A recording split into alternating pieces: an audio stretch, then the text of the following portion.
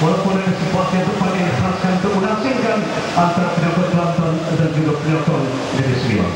Edisi ke-44 bagi kejuangan bola sepak terwaru di Kerajaan dan bagi Piala Malaysia pula edisi ke-43.